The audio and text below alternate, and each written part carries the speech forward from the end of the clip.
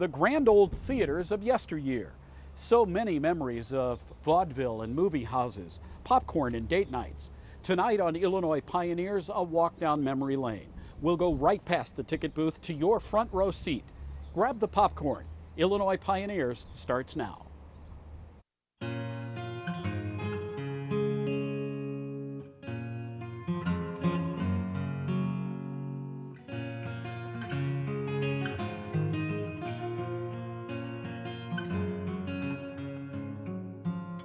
And welcome to Illinois Pioneers. I'm John Paul. Theaters hold so many memories for all of us, from being thrilled, scared, and romanced by the fabulous Hollywood films to the live plays, the musicals, and music that was on display in the movie palaces of central Illinois. Tonight, with the help of our guests, Illinois Pioneers remembers the first theaters, the opera houses, the Nickelodeons, vaudeville, and movie palaces, and the people who brought them here. Joining me tonight with our bowl of popcorn ready, theater historian Perry Morris of Urbana. Few people know more about the evolution of theaters in Champaign Urbana than Perry. Some of the images you'll see tonight are from, from his private collection.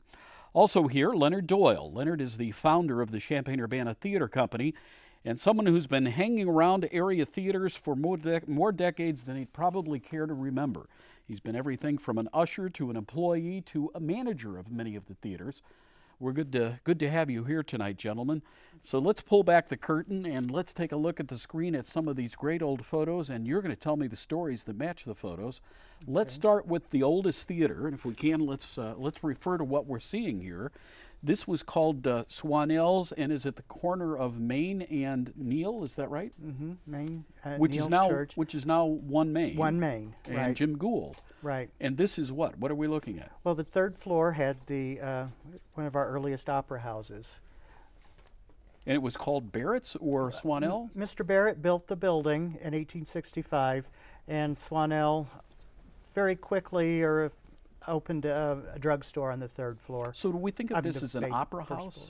Yes, that would be considered an opera But it wasn't necessarily opera. Oh no, opera house was sort of a catch-all term. It would- included just about anything. And some of the people who would come to town, prominent speakers, like as we see in this next uh, graphic, some of the prominent speakers that would come to town included uh, the famous uh, orator Frederick Douglass and friend of Yes. Abraham Lincoln. This is what, in the 1860s, 1870s? hmm Yeah, absolutely. Um, famous people would go around all over the country and speak at the opera houses. We weren't there to hear it, of course. Among the other people that came, another famous name, and this was probably at this opera house. Uh, the next graphic, you'll see Mark Twain was here too. Right. hmm And of course, we all know what Mark looked like. Uh, these are clippings that you found in old newspapers, right? Yeah. hmm Uh, let's take a look at, uh, at Mark in the next graphic here. You can see Samuel Clemens. hmm Uh, and uh, these orators, these prominent speakers that would come through Champaign Urbana, just took the stage and spoke, and people came to the opera houses to listen. Then, Right. hmm Uh, other people that would come to the theaters uh, along the way, uh, and again, the, the Barrett Swanells was an active building, and here we see it until this looks like maybe 1950s from the opposite side. This Right. is from the Neil Street side. Uh, whatever became of the building? Well, they tore it down, uh, and I think it was exactly 1950, and they replaced it with the W.T. Grant department store. So it became Grants. hmm So was it? I mean, do we believe that it to be the oldest theater in Champaign, what we would call a theater? Well, there was uh, some other opera houses that were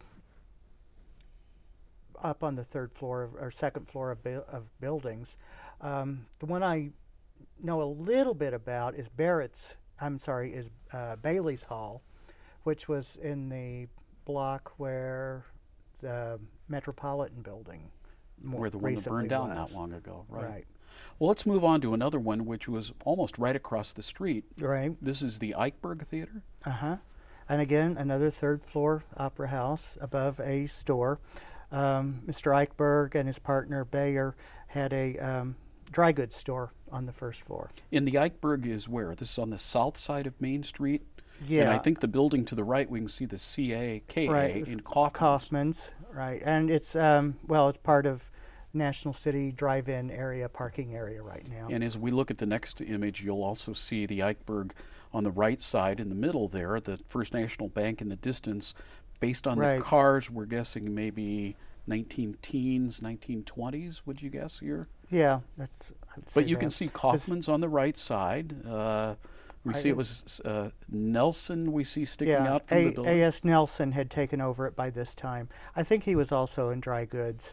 And this gives you a good idea of the how close it was to the bank because the bank building's still there. So when we think opera house, are we talking about an open area, an open hall that was there that people just came? Was it like we think of a theater today with lots of seats? Well, it could have been either one, really. Obviously, Um, we weren't there. right, right. Some of them had flat floors and movable seats and probably a stage, but not necessarily. And they could do just about anything, including dances and even roller skating in those. Some of the other pe- prominent people that came through, uh, we'll look at our next image here. Susan B. Anthony. Right? Looks a little bit like Whistler's mother to some of us, but Susan B. Anthony, who spoke She uh, spoke at Barrett's. at Barrett's. Mm-hmm. Uh, so again, some of these old opera houses, and yet one more opera house to look at. Next, our next image. This is Walker Walker Brothers, or just Walker Opera House. just Walker.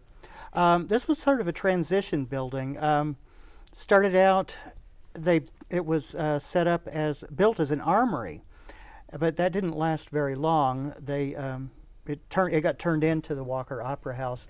It's been remodeled. I don't know how many times. And this is at the corner of Neil and Park, Neil and Park, which is now like a Chicago Title Company, That's I right. believe, right? Mhm. And again, whatever became of the theater.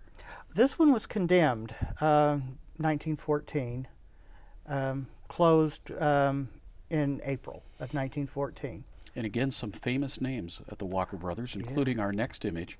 Uh, the Marx ah, Brothers the Marx Brothers, yes, indeed. uh, came through town in vaudeville circuit. Yeah. Would that be right? hmm Now explain for us what vaudeville was. Vaudeville is um, a variety show, basically. A live variety show. Live variety show. It ha- could have uh, any number of things. Could have animal acts, jugglers, comedians, singers, comics. Probably had five different acts. Some of the big cities probably had more. And I think you and I had talked about this in the past too. There's thought that Champaign Urbana was able to attract a lot of these big names Right. because they were along the main Illinois Central Railroad track between Chicago and, and Memphis. hmm That's probably one of the reasons why. Right. And we also got the East-West Railroad traffic. And, and right, we did have that too. So let's move on to uh, about turn of the century. I think when the Varsity Theater comes along, and we're looking west down Main Street, and there on the left side of the screen, you'll see the Varsity. Uh, and this is roughly where the uh, Stevick uh, News Gazette building is now, or No, well, from, it looks that way sort of from the picture because we're missing a block, but it's actually on the other side of the bank building, where Oh, the it is, First okay. National Bank was. So we're in the next block over. And this- actually, this building was torn down to make way for the new bank building that went up in 1910, the one we know today. the one we know of today. So it's actually more near the corner of, I guess it would be Hickory and, and Main. At least down in that Walnut. Walnut, excuse yeah. me, got my trees, my woods mixed up here. And then the other side of the street, uh, we see uh, obviously a streetcar. I see a date here, 1908. Does that sound about right? Probably for this or not? Yes, because uh, sometime 1909 or shortly thereafter And is the when it came down. The Varsity's a movie house at this point. yes, Okay, let's go to the next picture because the Varsity moves. Right, We see it now next to Reiner's. right. And we see a horse there in front, so we know this isn't recent. Uh, the, the varsity there and uh, Reiner, so we know this is now on the north side of Main Street. And at this point, the varsity is, is a movie house, vaudeville, small. It's small. It's probably what we would call a Nickelodeon.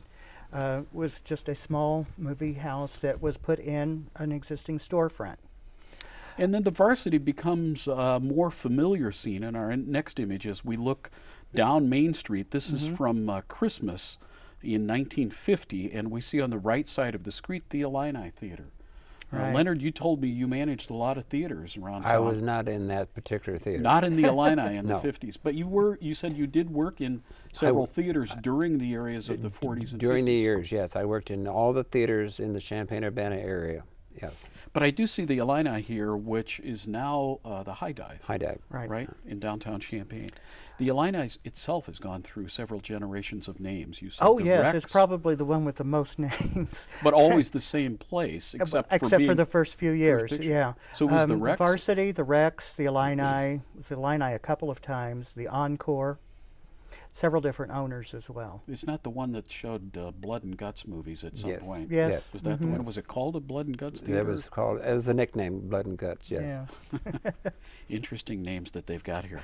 Let's move on to another theater. Uh, this one over on Neil Street, the Lyric, and the Lyric again is about in the same spot where the Walker building No, was. no, we're another couple of blocks north. Um, it's in the block that M2 was recently built in So north of Main Street, north Nor- of Church Street. north of Church, right? and the Lyric looks to be small. Yeah, and another one of the small storefront theaters. About what era, what decade? Uh, 1910. 1910 and the next image you'll see something about the lyric this was the opening of the lyric we you may know the the date here but notice it says uh, 57 north Neil street there but down at the bottom motion motion pictures that are different the lyric is absolutely fireproof Right. why was there such fear of fire in theaters Well, we're not that far, that many years away from the big uh, Iroquois Theater fire in Chicago. 500 some people Right. uh, killed So, you know, that scared a lot of people, theater rightly so. were scary So they that got them to thinking more about safety of the patrons and making things more fire resistant, more fireproof. You know, concrete floors, better exits.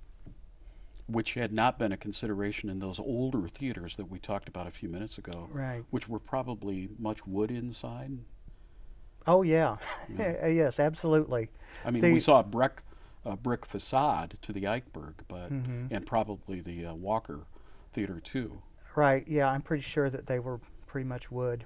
Let's On move on to a different theater. This one down the street on Church Street, the Park, uh, and this again. Uh, you want to try to put a date on this picture, That would be 1913. and this is roughly uh, near State Street and Church. Is that right? The Yes. Park is where the Art Theater is yes, today. it's currently the art theater. So this is the ancestor, so to speak, of the art theater Right. today, Mhm. which was called the Park. right. Uh, you said 1913. 1913. Let's move on to another image uh, that shows us again one of the early films there, Charlie Chaplin, in his late two-reeler. Now you're going to tell us, Leonard, what a two-reeler was? Well, actually, it's about a 20-minute reel, about a 40-minute show was, was the limit. Tw- 20 minutes is usually the limit of a reel. Now the park claims itself down at the bottom, Champaign's first theater. Technically not true, or the first movie theater? Well, it probably depends on how you look at it. it's the um, the varsity, of course, we've been there. Uh, been open since 1906. Um, this was built as a theater. If, you know, it's you know it's a smallish storefront style theater, so you could think of it more as a Nickelodeon, but it was purpose built as a theater.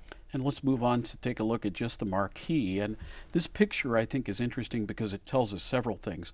We're looking west down Church Street, and on the far left, you do see the Park Theater down there. Mm-hmm. I see Keck's Furniture, a grocery store at that point as we come back this way. And again, based on this clothing, I see streetcar tracks there, uh, Model T, probably. Mm-hmm. So 1910, 1913, 1914, would you guess in this era, based on the marquee, or maybe a little bit later than that? Mm, possibly a little bit later. And let's go to the next one where you actually see a better look of the of the park marquee. Oh yes. And I can see matinee there. I can see unwelcome Mrs. Hatch today. I assume that's the film, not that Mrs. Hatch wasn't welcome at the theater. Uh, but what uh, what grand marquees many of these theaters had in those days. That was, I guess, the welcome to the theater. Yeah. Um, actually, I think the park is probably the grandest marquee that that I have seen pictures of. And let's move on to another one. Uh, this one actually taken during a fire on Church Street in the 1950s. So that's the wet pavement there and the commotion out in the street. But in the distance, we see a more familiar looking marquee Right, of the park, along with 25 cent parking at that point, as we can see along the way. uh, and a newspaper uh, shop on the sign there. And we see up there that uh, John Wayne and his Fighting Seabees were playing at that point. So again, this is probably from the 50s, we believe, yeah. at that point. And then let's take one more image uh, of the park here, which now has become the art. This is from the 70s, and you said the art at one point morphed into a different kind of theater in the 70s. Is that right, Leonard? Yeah, they they kind of changed. They went a lot from western to more modern films. And adult films at one Adult point. film for a Both the while there, Illini, yes, yeah. too. Yeah, the same group, the Art Theater Guild, bought both the park and the Illini, and actually did run them as art theaters for a while. And they class, they classified it as an art movie. But then they got to where they were doing the um, the more adult films, the the skin flicks, because well, I read something where the owner said that um, other theaters were taking over his niche, so he had to find something else to make money. So And by the way, these early theaters, uh, was it really a business opportunity for these theater owners? Was that why they were opened? Were they opened because there was a need for them? Was it a, a- and the other, did they have popcorn?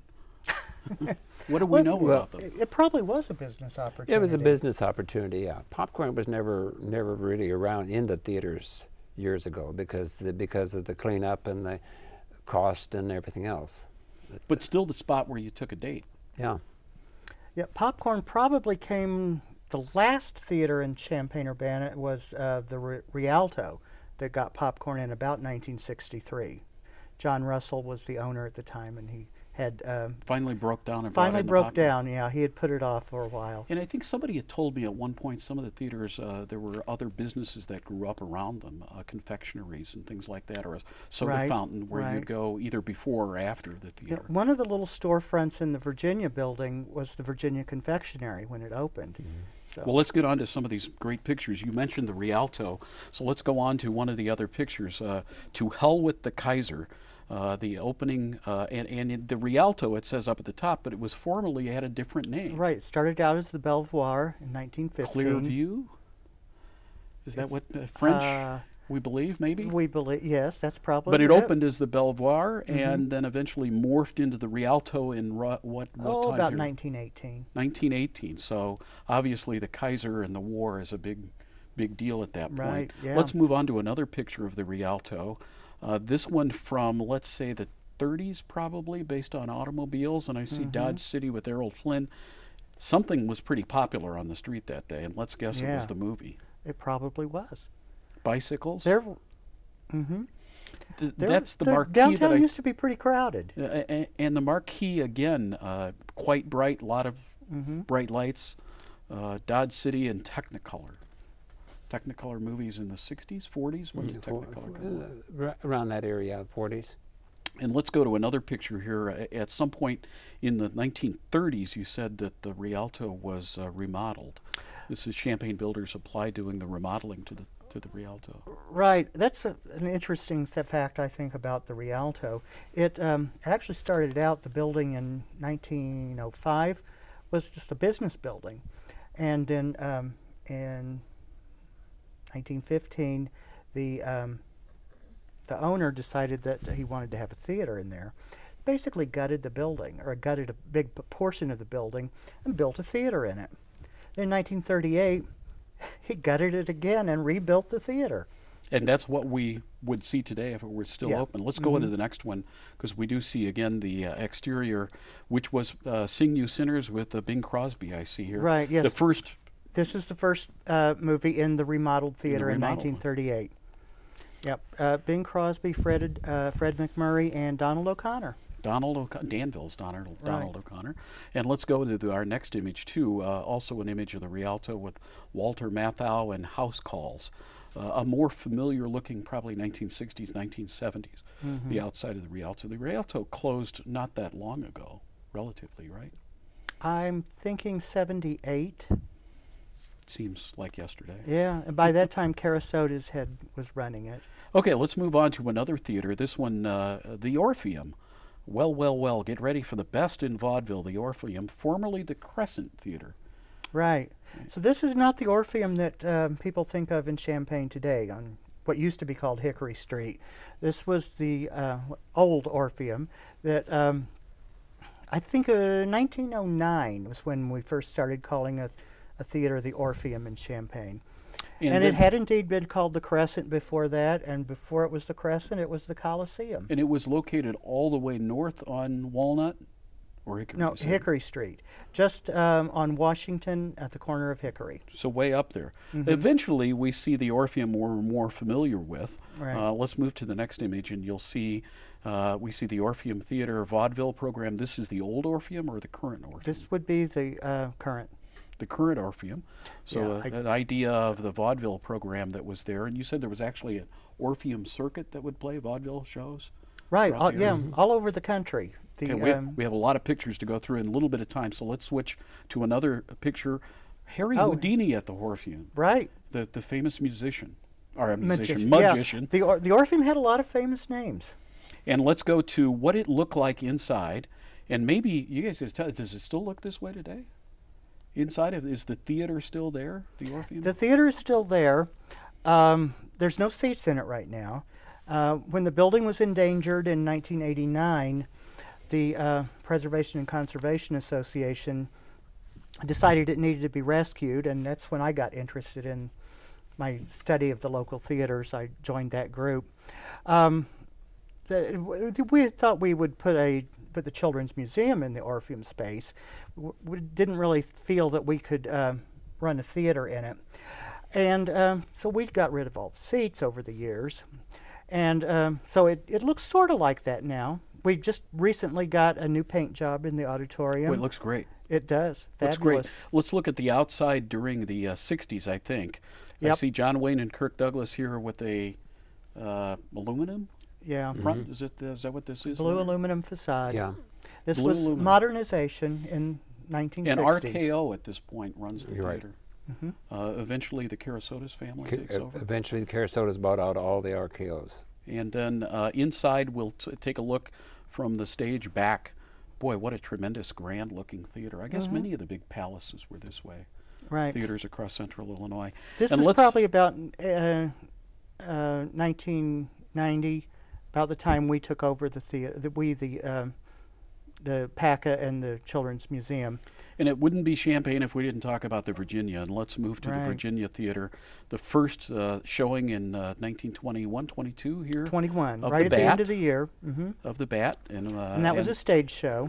And then the next will show the original marquee, this from 1930, uh, when Journey's End was playing there, and we see a lot of soldiers lined out up front. Uh, we also see that back in the 20s, if you go to the next slide, that one of those people who came in person to the Virginia, famous boxing legend Jack Dempsey. Right.